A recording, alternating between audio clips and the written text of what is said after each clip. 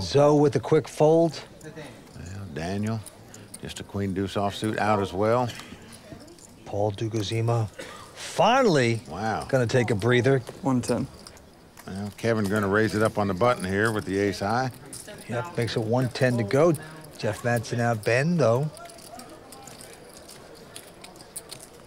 Ben Tarzia has a decent ace-6, will make this call. Be gentle on me now. Always, always.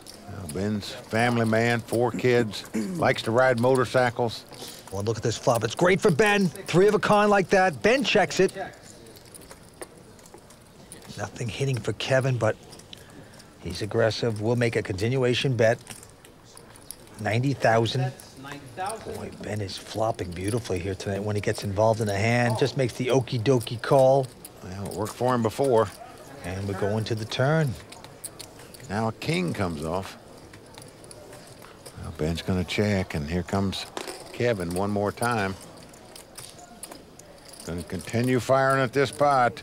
155,000 and party might be over for him here, right here, because Ben is going to raise it with the three sixes.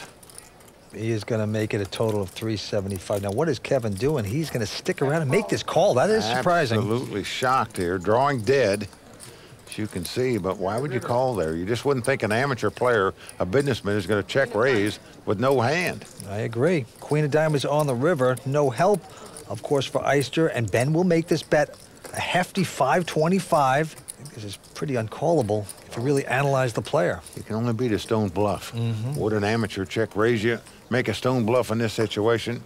I wouldn't think so. Only a six and bluffs makes sense right here. He's talking himself into it. He's making a bad call. Six. Very surprised Kevin Eyster went for that. Just as we were surprised a minute ago when Paul kept firing at the pot as the Canadian was calling him. So he's just letting these guys fire off, Vince. It's beautiful.